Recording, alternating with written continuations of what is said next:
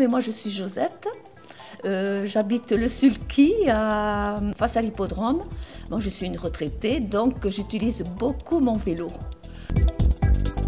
Mon projet, ce sont des bornes de réparation de vélo.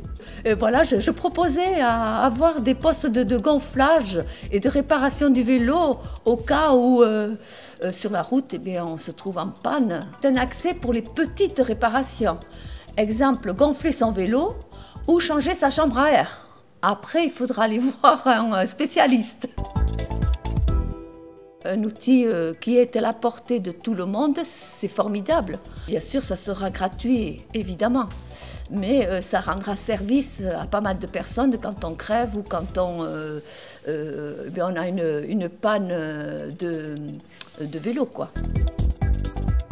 Vélo, borne de réparation, rendre service à la ci- citoyenneté.